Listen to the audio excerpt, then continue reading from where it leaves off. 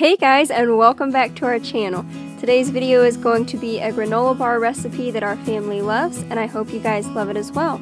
And if you guys have been wondering why we have not been posting regularly, things have been super crazy around here. We have a wedding in the family, so we've been getting ready for that, but we will begin posting more regularly this month after the wedding. So the first thing that you're going to need to do for this granola bar recipe is measure out two and a half cups of oats, whatever kind you guys like to use, and put them in this little baking sheet here. You're going to just want to toast them in the oven just to get them a little bit toasted. The recipe didn't call for it, but I also added some nuts. You can use whatever nuts your family likes, but I used walnuts and pecans.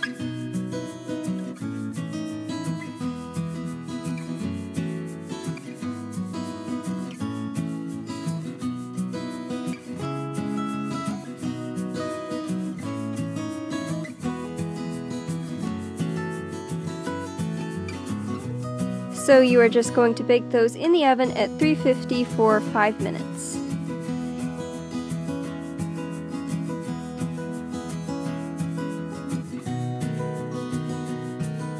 The next thing that I did here was just get a saucepan to make the filling that's going to go in this and just kind of bind all of the oats and the nuts together. So in your saucepan you're just going to want to heat your quarter cup of butter over medium heat and then add a third a cup of honey.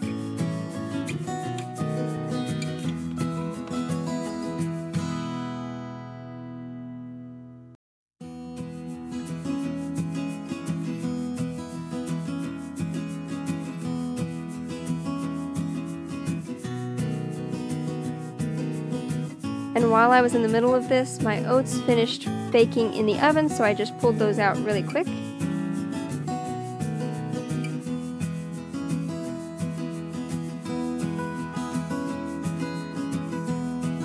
Next you're going to add 2 tablespoons of brown sugar, half a teaspoon of vanilla. I didn't measure it here because I never measure the vanilla, but it was a half a teaspoon that the recipe called for, and then an eighth of a teaspoon of salt. Next you're just going to want to stir that up. A whisk really works best, but I was using a spoon here.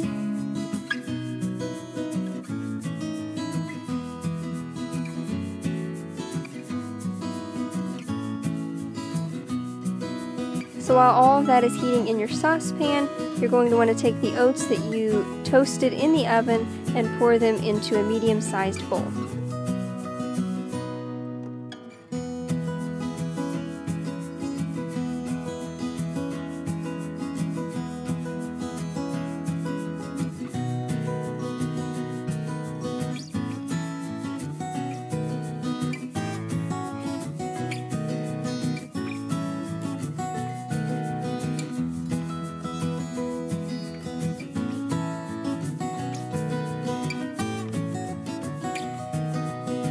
And my sauce was done, so I'm pouring that into the bowl right on top of the oats and the nuts.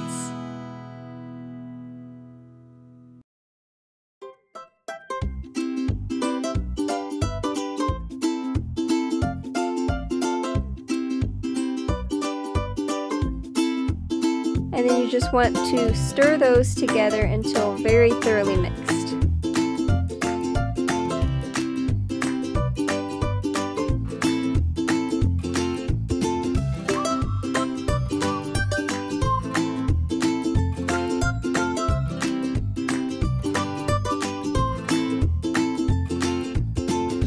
Your mixture is mixed together, you're just going to want to pour all of that out into your baking dish.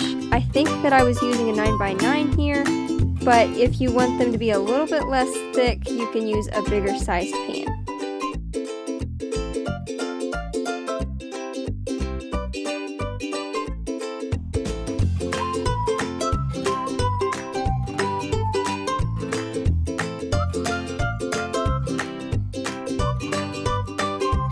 And then I just pressed it down with my hand to get it nice and stuck together.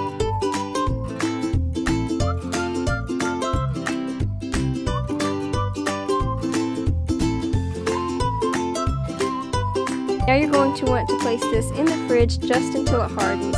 Or if you would like to put chocolate chips on top, go ahead and put those on before you put them in the fridge. I added chocolate chips to half of them and left the other half plain. And once they are all nice and firmed up in the fridge, you can pull them out and cut them.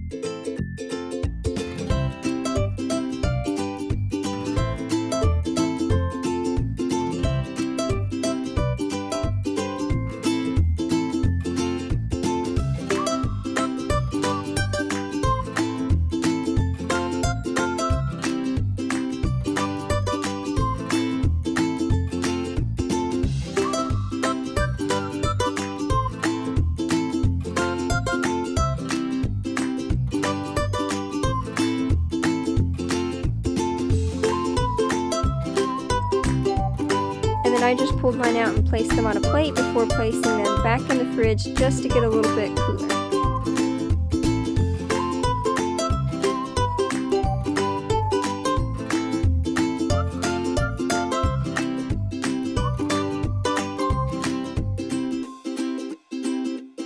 And that is it. Your granola bars are done. You'll want to keep them in the fridge. I hope you guys enjoyed this video. If you did, give it a big thumbs up definitely subscribe to our channel. There will definitely be more videos in the future that you guys do not want to miss, so hit that red subscribe button down below. Alright guys, be thankful and rejoice in the Lord. We'll see you in our next video. Bye!